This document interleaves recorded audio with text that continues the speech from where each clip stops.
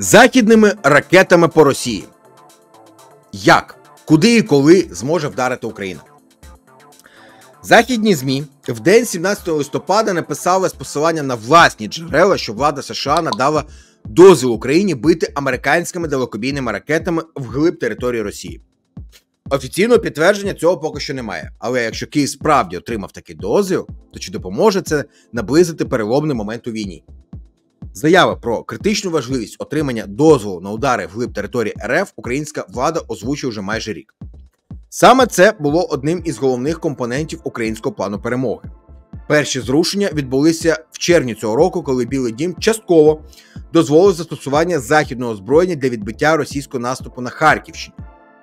Але тоді обмеження на дальність західного озброєння стосувалося лише близького прикордоння РФ. Тож мова не велася про застосування далекобійних балістичних ракет Атакамс і крилатих ракет Storm Shadow, чий радіус дії близько 300 км. Київ продовжував постійно порушувати це питання на перемовинах із Вашингтоном і, начебто, досягнув свого. Хоча станом на 18 листопада повної ясності щодо цього дозволу на удари не було. За версією західних ЗМІ, зокрема телекомпанії CBS, а це партнерська компанія BBC, е, партнерський телеканал BBC у Сполучених Штатах, президент Джо Байден ухвалив це рішення відповідь на відправку північнокорейських військових на допомогу Росії до Курської області. Начебто цей крок заходу націлений на те, щоб утримати Пхеньян від відправки нових військових частин. Офіційної інформації, чи може Україна застосовувати західні ракети в інших російських регіонах, окрім Курщини, немає. Українська влада також не оголошувала про ці кроки. Щоправда, президент Володимир Зеленський у своєму вечірньому відеозверненні від 17 листопада наголосив, що такі рішення не треба анонсувати у ЗМІ. Але ударів завдають не словами. Такі речі не анонсують. Ракети самі за себе скажуть, сказав він. За даними джерел BBC, українська влада була дійсно обурена, що стався витік інформації з американського боку з цього питання. В Кремлі вже заявили, що можливі удари західними ракетами по РФ це новий виток напруги. Навіщо Україні бити вглиб Росії, за даними джерел західних ЗМІ, Україна вже найближчими днями застосує американські ракети по території Росії. Коли саме і де це станеться, невідомо. Однак військові експерти впевнені, що такі атаки мали велике значення для подальшого перебігу війни. Не можна воювати, коли ти не можеш воювати по правилах. Це означає, що ворог має відчувати вплив твоєї зброї на всю глибину оперативної побудови військ, пояснює BBC військовий аналітик, директор New Geopolitics Михайло Самусь. Він зауважує, що оперативна побудова військ Російської Федерації починається не біля лінії фронту, а саме на 300 кілометрах вглиб російської території, де розміщені логістичні хаби, місця дислокації особового складу, полігони, аеродроми, де базується військова авіація. Також приблизно на такій же глибині розміщені великі склади боєприпасів, командні пункти, штаби зв'язку і розвідки, пускові установки іскандерів або зенітно-ракетні комплекси. Все це має бути знищено. Україні тисячу днів не давали це робити. Ми воювали неправильно. Ми воювали в умовах, коли нам не давали можливість воювати так само, як РФ воює проти нас. Росія пояснюється, регулярно завдає ракетних ударів на оперативну і навіть на стратегічну глибину по українській території. Україна своєю чергою тривалий час не мала такої можливості. Атаки українських безпілотників, хоч і відбувалися доволі регулярно, однак вони не мали такої потужності, щоб знищити чи серйозно пошкодити військову інфраструктуру Росії. Щоправда, важливо, щоб Збройні сили України мали дозвіл завдавати ракетних ударів не лише по Курщині, а й по інших регіонах РФ. Обере... Е, обмеження лише однією областю насправді це маячня.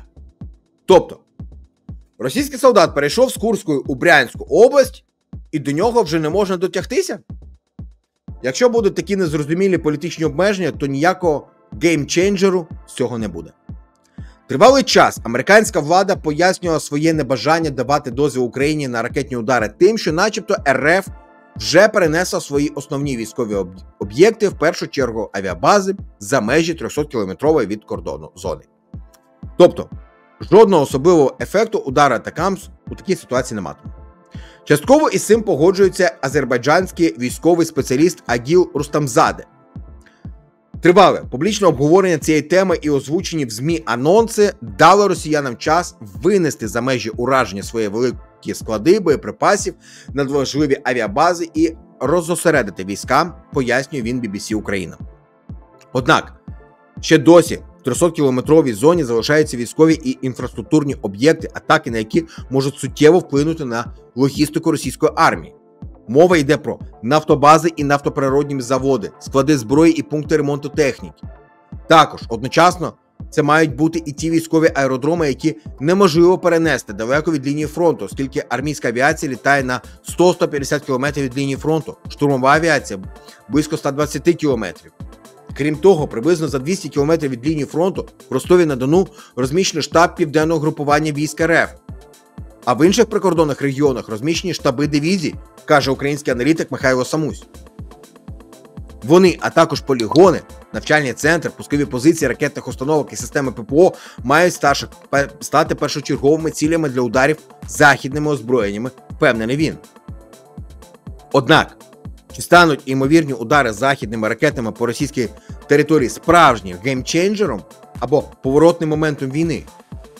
Акіл Рустамзаде вважає, що є два ключових фактори, які на це вплинуть. По-перше, це залежить від кількості пускових установок, які має Україна для запуску ракет ATACMS. Мова йде про системи Хаймарс, яких за публічною інформацією передали Україні приблизно 50-60 штук.